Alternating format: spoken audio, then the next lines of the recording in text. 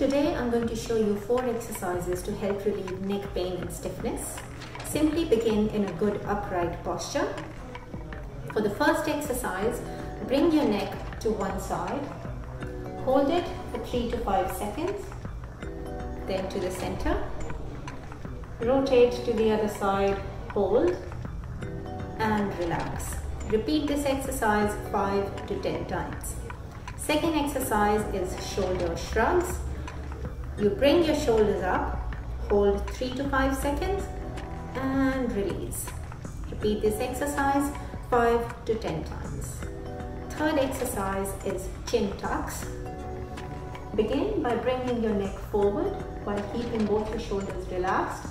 Hold this position for 3 to 5 seconds and gently bring the neck back as if you're making a double chin.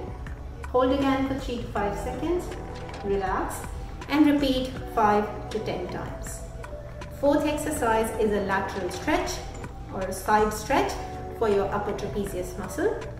Begin by placing one arm behind your back so that stabilizes this shoulder.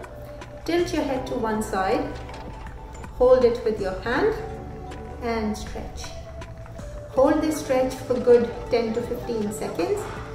Relax, repeat on the other side and do this 3 to 5 times throughout the day.